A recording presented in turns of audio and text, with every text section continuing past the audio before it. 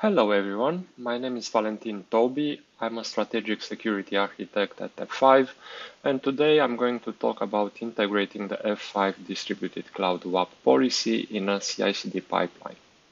First of all, let's discuss why would we want to automate the deployment of F5 distributed cloud WAAP policy. As many of you know, F5's web application firewall products such as the Big IP based Advanced WAF Nginx Protect WAF or Distributed Cloud WAAP all share the same WAF engine, packaged in different ways to fit specific needs. For example, Distributed Cloud WAAP is a cloud-based offering built on our WAF engine, perfect for protecting applications at the edge and focused on ease of onboarding and simple configuration. On the other hand, Nginx Protect WAF it's a very small footprint, highly scalable, very high performance form factor for the same WAF engine.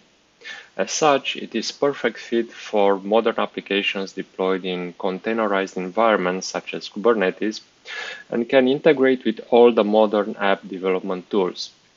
Integrating Nginx Protect WAF in CI/CD pipelines is a well-known use case. And there are many demos out there showing how to do that, so I will only talk about it at a high level. Let's say we are using Nginx Protect WAF to protect a web application or an API endpoint, and we wish to build a WAF policy which is customized for our protected application, maybe ingesting the Open API spec, for example. The resulted WAF policy will be very tightly integrated with the application. Whenever the application code changes and the CI/CD pipeline gets triggered, you have the option to update and push the modified WAF policy to the Nginx Protect WAF. So we are talking about a WAF policy that is under the control of the group that develops and maintains that particular application. What happens if the parent organization needs to implement a broad WAF policy to be applied to all of the different groups, or maybe there's a need to block all the common attacks before the client request reach the application specific WAF, eliminating the noise and saving resources there.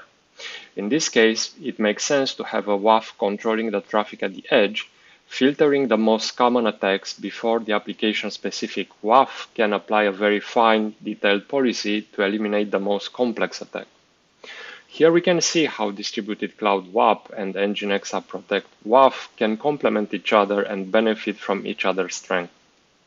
Now, if this organization already decided to manage its security policies as code, uh, like in the case of Nginx App Protect. The next question is, can we do the same with distributed cloud WAAP and automate its deployment with a CI/CD pipeline? As you have, as you may have guessed, the answer is yes. And I'm going to briefly show you how the configuration looks like. I will also link this video to a DevCentral article where you can check the code at length. So don't worry if you can't see every small detail. What's important here is the principle. We will use F5 Distributed Cloud Terraform Provider.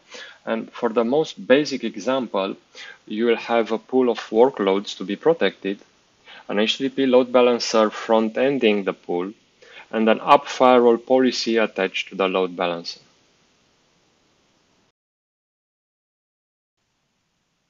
This is how it looks when everything is assembled together. We have the WAF policy in this case, I've used the default settings, which should work for a majority of cases. Then we have two pools needed because in my case, I'm protecting a demo application, Arcadia Finance, that has both web application and the API endpoints. And this is the HTTP load balancer that ties it all together using routes to direct traffic to either of the two pools and referencing the app firewall object created before. Since this is a Terraform file, it can be deployed very easily from a CI/CD pipeline. In this case, I'm using GitLab and a GitLab CI YAML file. In my case, I split the configuration between the infrastructure-specific and application-specific objects, such as load balancers, pool, and WAF policies, but the same result can be achieved in many different ways. For more information about this setup, you can check out the DevCentral article linked to this video. That's all I had for today. Thank you for watching.